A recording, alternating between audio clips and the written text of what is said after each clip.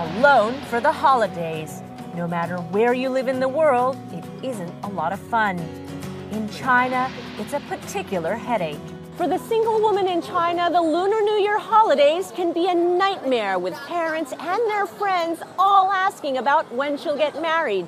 To help these women get through in peace, a new business is sprouting up online. Okay.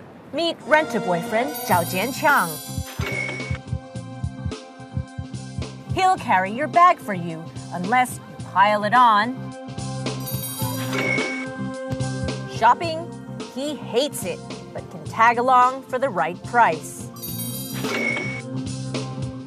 Drinking with the relatives? No problem. But don't expect him to pick up the bill. Oh, and hugs are complimentary.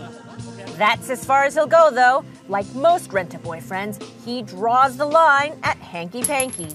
If a man goes all the way with a woman because she demands it and then takes her money, then he's a gigolo.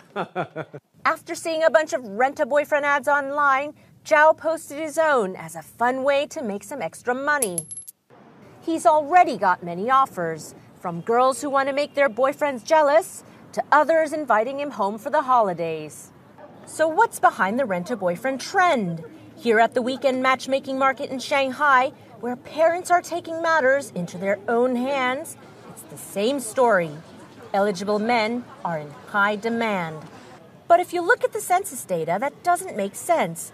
Chinese prefer having sons, resulting in roughly 120 boys born for every 100 girls.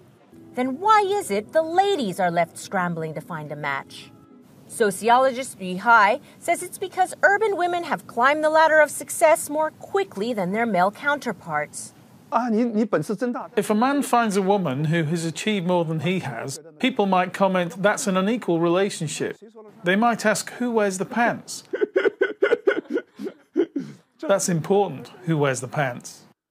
Matchmaker Fan Dongfang says some women also have unrealistic expectations.